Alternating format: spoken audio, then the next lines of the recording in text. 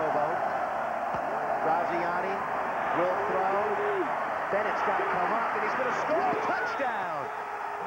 Was Abdul McCullough. Abdul McCullough had a decision to make along with Tommy Bennett, whether to come up or stay in coverage, and they stayed in coverage, and Graziani scores the touchdown, and Oregon's back in the lead. Graziani won't let you down in terms of the competition factor. And right there, he applies pressure again out on the run. And right there, just making that pump fake, Billy, you saw how he held everybody. Everyone did a little double clutch, and it gave him enough opportunity to dive over for the touchdown.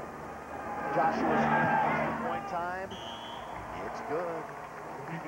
And Oregon, like good teams do, comes right back and puts a 7 on UCLA. They lead 31-24.